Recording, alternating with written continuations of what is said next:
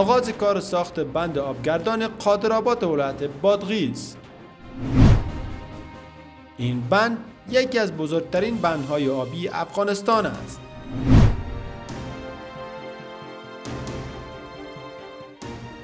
این بند توانایی ظرفیت ذخیره دو میلیون متر مکعب آب را دارد.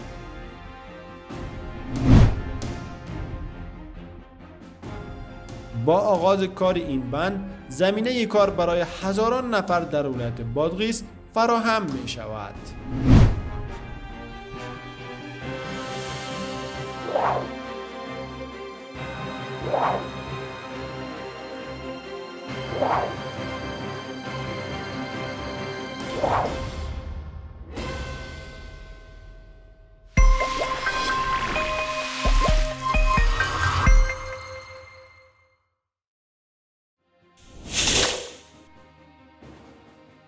کار ساخت بند آبگردان قادرآباد در بادغیس روز گذشته بعد از چهار سال توقف از سر گرفته شد.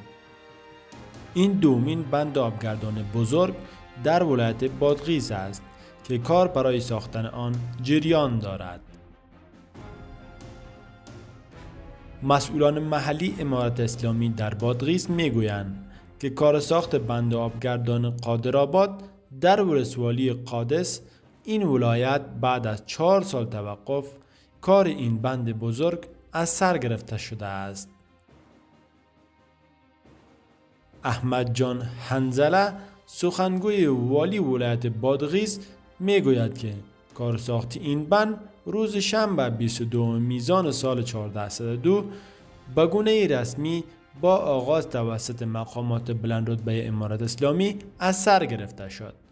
با گفته هنزله هزینه ساخت این بند مبلغ 12.5 میلیون دلار از بودجه دولت پرداخته خواهد شد.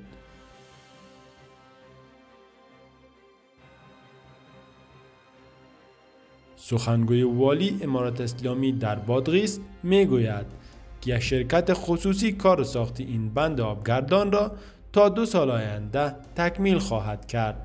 هنزله از این شرکت نام نبرده اما در حکومت پیشین این بند قرار بود توسط یک شرکت ترکی به نام پیمتک ساخته شود با گفته هنزله با آغاز کار این بند بزرگ آبگردان برای صدها نفر در بادغیس زمینه کار فراهم شده است.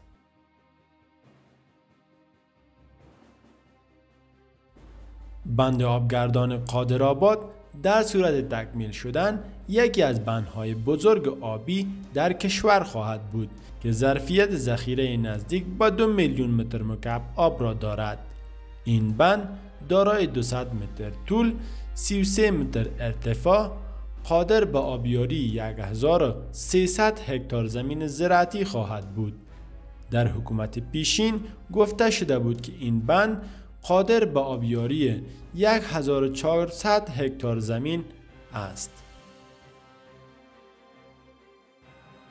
در سال 1398 خورشیدی کار ساخت این بند از سوی یک شرکت ترکی به گونه رسمی آغاز شده بود و قرار بود طی دو نیم سال تکمیل و به بهره برداری سپرده شود اما بنا به تحولات کار آن متوقف شد اما حالا دوباره کار آن از سر گرفته شده است.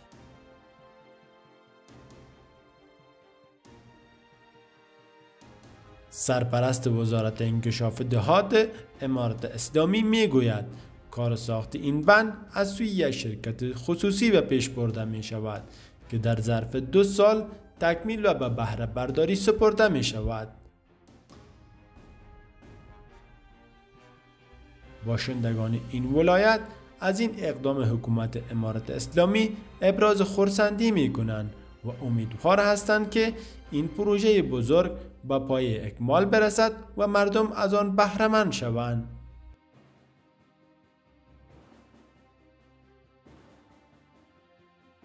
ولایت بادغیس یکی از ولایت های افغانستان است که باشندگان آن با کمبود آم آشامیدنی روبرو هستند. در این اواخر مسئولان در ولایت بادغیس روی ذخیره سازی آب آشامیدنی کار می کنند. در تازه ترین مورد یک ذخیرهگاه چشمه آب شیرین در شهر قلعه نو به همین منظور به بهره برداری رسیده است. سخنگوی والی بادغیز گفته است که برای همه معلوم است که شهر قلعه نو آب شیرین و قابل آشامیدنی ندارد و ما هم به همین خاطر اقدام به ایجاد زخیرگاه های آب شیرین که از دیگر ولسوالی های جریان پیدا می کند کرده ایم. این زخیرگاه آب در منطقه باغک شهر قلات ایجاد شده است که با طول 70 متر و عرض 50 متر و عمق 1.5 متر است و می‌گوید آب این ذخیرهگاه از یک چشمه در همین منطقه تأمین می شود و با ایجاد این ذخیرهگاه آب شیرین مشکل آشامیدنی حدود 600 خانواده در شهر قلعه نو برطرف گردیده است.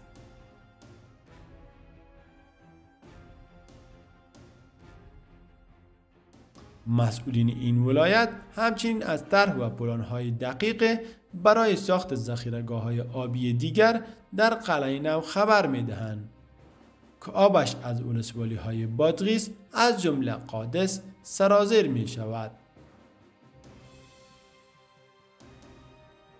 گفته شده است با تکمیل شدن کار ساخت بند قادرآباد ولایت بادغیس به منظور آبرسانی به مردم و به خصوص به زمین های کشاورزی بسیاری از مشکلات مردم را حل خواهد کرد. در حال حاضر شمار زیاد از مردم شهر قلعه نو و بهای بلند آب آشامیدنی را می‌خرند. گفته می شود هزینه هر بشکه 20 لیتر آب خوردن در این شهر تا 50 افغانی قیمت دارد.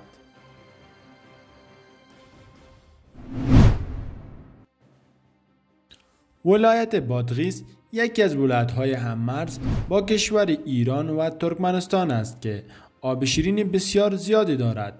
این آبها بدون اینکه مدیریت شود به کشورهای همسایه می روند.